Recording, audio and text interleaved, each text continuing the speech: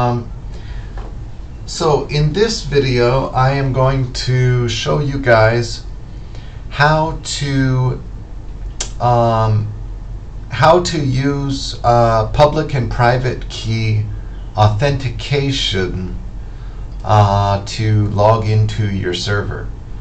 So why would you want to do this? Well, the first reason is convenience. It's a lot easier just to uh, type one quick command um, and boom, you're up at your server. Uh, and you don't have to mess around with your password. Um, and you'll find over time it's just a lot easier.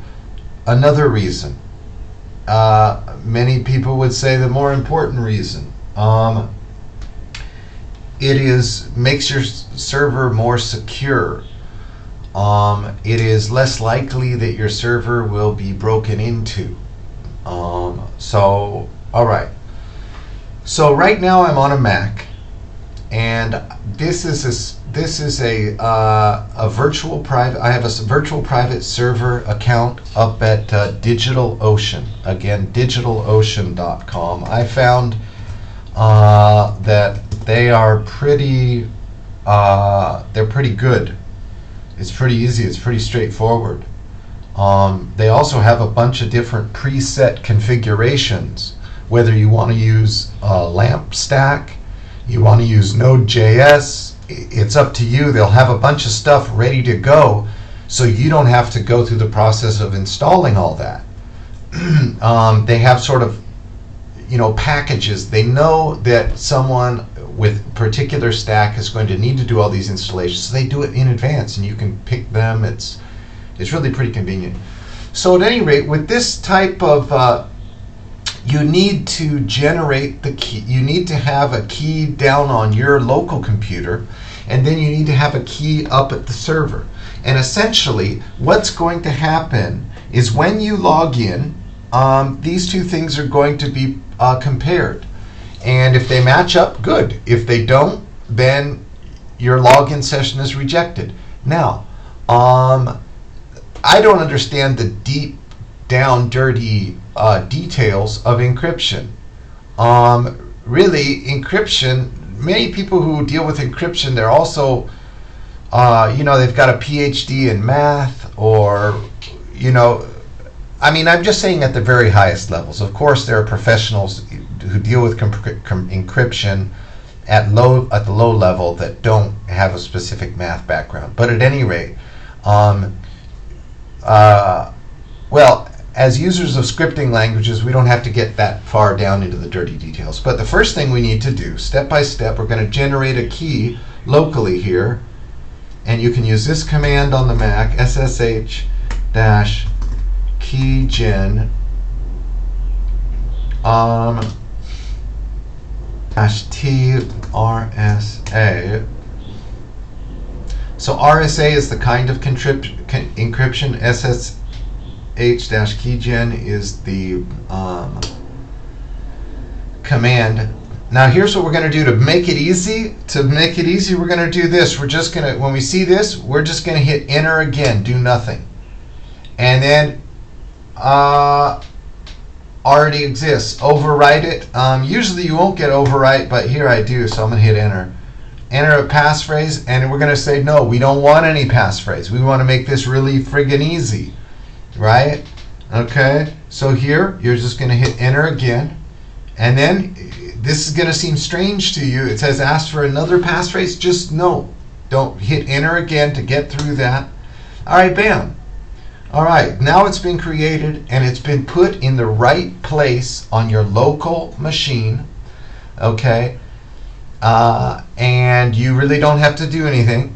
Now, what we're going to do um, is we are now going to copy this up to our server at DigitalOcean. There's a command for this copy ID.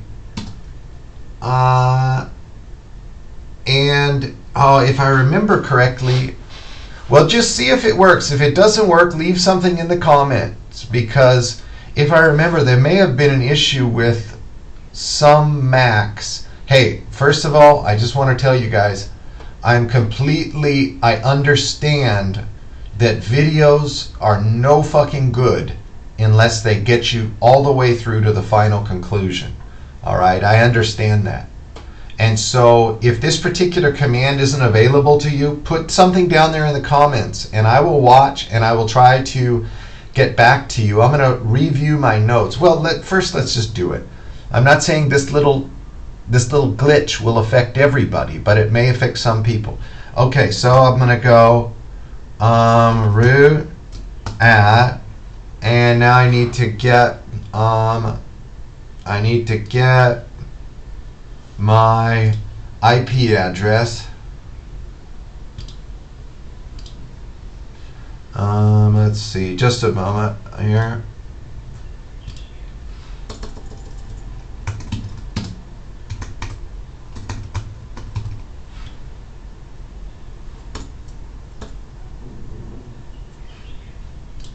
Okay, just a moment. Um, okay, got it. There we are. So I'm going to put my IP address there. And there we go. Now it's logging in up there and what it's doing okay now when you you're going to need to enter this once okay you're going to need to enter your password once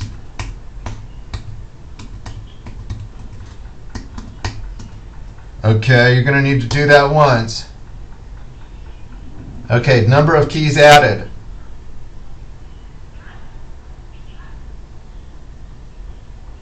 Okay, now I went up. Okay, so essentially the program took me up to the server. It copied them onto the server into the right place where they need to be up there for the program to find them when you, when you log in. I mean, later it's going to be the SSH program. And so let's do this.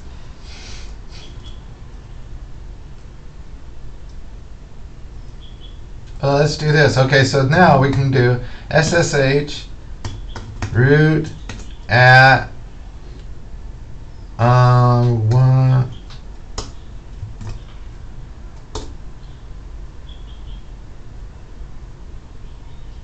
All right, so I I fired right in there without using uh, my password. Guess what?